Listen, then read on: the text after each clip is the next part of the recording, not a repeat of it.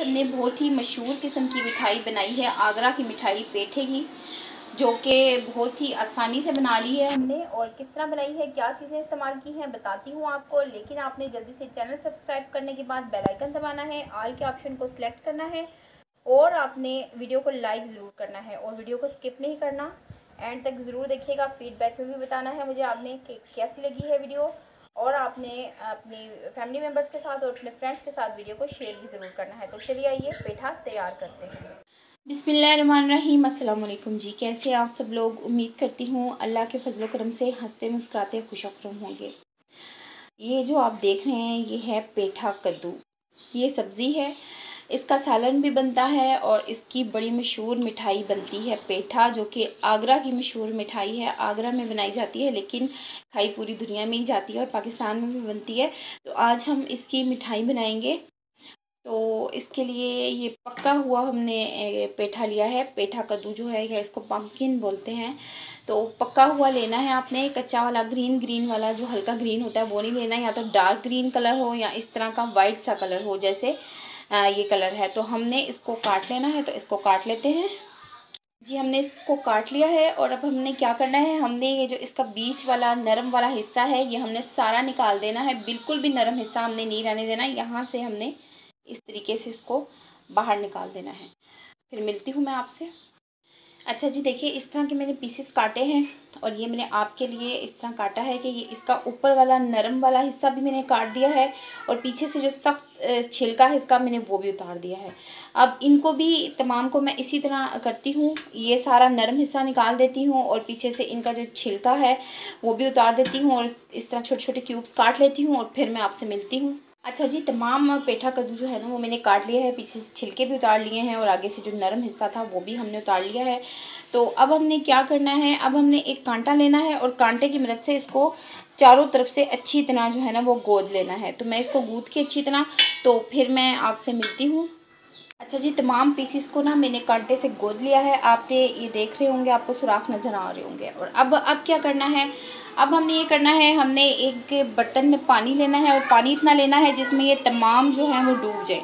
और इसमें एक किलो के हिसाब से हमने एक चम्मच जो है ना वो चूना डालना है। चूना जो आम चूना होता है आ, पान वाला ले लें या जो भी है तो हमने ये चूना जो है ना एक चम्मच डालना है हमने इसमें। अगर आप चूना अवेलेबल नहीं है या आप नहीं डालना चाह रहे हैं तो फिर आप फिटकरी भी डाल सकते हैं और फिटकरी की क्वांटिटी भी यही है कि एक किलो में एक चम्मच, ठीक है?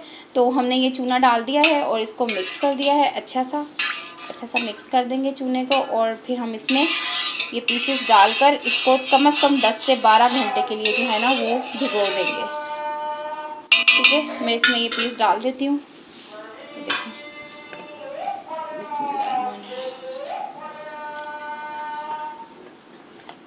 दस से बारह घंटे हम इसको भिगो देंगे चूने के पानी में या फिटकरी के पानी में, जो भी आप मुनासिब समझें, जो आपको अवेलेबल हो तो आपने उसमें ये काम कर लेना है। दस से बारह घंटे के लिए हमने इसको अच्छा सा जो है ना, बस इसमें डुबो दिया और इसको मिक्स कर देंगे और हम इसको ढक के रख देते हैं। अच्छा सा मिक्स किया। ये देखिए। और बस हम इसको अब रख रख देंगे। फिर मैं मिलती हूँ आपसे दस से बारह घंटे बाद। अच्छा जी, अल्हम्दुलिल्लाह, बारह घंटे गुजर गए हैं। चूने के पानी में इसको भिगोए हुए और ये देखें, ये टुकड़े जो है ना, वो बहुत सख्त हो गए हैं। चूने या फिटकरी के पानी में भिगोने से ये होता है कि ये काफ़ी सख्त हो जाते हैं और जो है ना, ख़राब नहीं होते जब ये मिठाई बनती है इनकी तो ये काफ़ी लंबे अरसे के लिए भी स्टोर हो जाते हैं। तो ये देखें ये हमारे जो है ना, वो अब अगला मरहले के लिए तैयार है तो हमने क्या करना है? हमने एक एक पीस को अच्छी तरह साफ़ पानी में मल मल के धोना है और साइड पे रखते जाना है। अल्हम्दुलिल्लाह जी, हमने धो लिया है एक एक पीस को अच्छी तरह हाथ से मल के और यहाँ पर मैंने रखा है पानी दोबारा बॉयल होने के लिए और इतना पानी रखा है जिसमें ये तमाम पीस जो है ना वो डूब जाएँ। तो पानी जो है ना वो हमारा बॉयल होने के करीब है तो हम डाल देते हैं अपने पीस इसमें। बिस्मिल्लाह तमाम डाल देंगे। और इसको 20 से 25 मिनट हम इसको बॉईल करेंगे या फिर तब तक करेंगे जब तक कि ये ट्रांसपेरेंट कलर अख्तियार ना कर लें, ठीक है? हमने 20 से 25 मिनट इनको बॉईल करना है ताकि ये ट्रांसपेरेंट हो जाएँ। तकरीबन 40 मिनट मैंने इनको पकाया है और ये अभी ट्रांसपेरेंट मुकम्मल तौर पे तो नहीं हुए, लेकिन काफ़ी हद तक हो गए हैं। तो अब हम इनको शीरे में डाल के पकाएँगे, बाकी ये वहाँ हो जाएँगे। तो इसके लिए मैंने लिया है चार कप चीनी, साठ ग्राम चीनी यानी कि सॉरी 600 ग्राम चीनी मैंने ले ली है और यहाँ पर मैंने दो कप पानी रखा है, ठीक है? अब ये चीनी जो है वो मैं इसमें डाल दूँगी और इसको मेल्ट करूँगी। जी चीनी डाल दी है और काफ़ी हद तक जो है ना चीनी मेल्ट भी हो चुकी है और इसमें मैंने एक चम्मच जो है ना वो सिरका डाला है सफ़ेद सिरका जो होता है आम, वो वीडियो में मैं किसी वजह से आपको दिखा नहीं सकी और अब मैं इसमें शामिल करूँगी बिल्कुल थोड़ा सा रूह क्योड़ा, ठीक है? ये देखिए, तकरीबन ये सात आठ ड्रॉप्स होंगे। मैंने रूह रूह क्योड़ा इसमें डाला है, इससे बहुत ही अच्छा फ्लेवर और खुशबू हो जाएगी। तो चीनी को हमने अच्छा सा मेल्ट करने के बाद थोड़ा सा पकाना है। दो तीन बॉयल आने के, आने तक। अलहमदिल्ला शीरा हमारा हो गया है तैयार बॉयल भी आ गया है। तो हम इसमें अपना जो पेठा है वो शामिल करते हैं। बिस्मिल्लाहिर्रहमानिर्रहीम। और इसको बिल्कुल स्लो फ्लेम पर हमने अच्छा सा पकाना है। बहुत ही अच्छा सा। शीरे को मुकम्मल तौर पे गाढ़ा होने तक और इसके ट्रांसपेरेंट होने तक हमने इसको पकाना है। ठीक है साथ साथ हम थोड़ी थोड़ी देर बाद इसमें चम्मच भी चलाते रहेंगे।